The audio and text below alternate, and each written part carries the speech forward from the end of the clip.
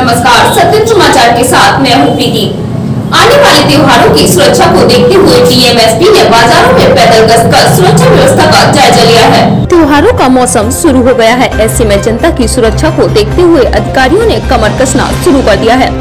जिला अधिकारी महेंद्र बहादुर सिंह ने और पुलिस अधीक्षक अजय कुमार त्योहार को देखते हुए सड़कों पर कॉम्बिंग करते नज़र आए। दोनों ही अधिकारियों ने मुख्य बाज़ार मंदिर, कस्बा आदि में पैदल गश्त किया सुरक्षा व्यवस्था का जायजा लिया। साथ ही लोगों को कोरोना प्रोटोकॉल के बारे में भी बताया है। लोगों को सोशल डिस्टेंसिंग पालन करना व मास्क लगाने के लिए निर्देशित किया है।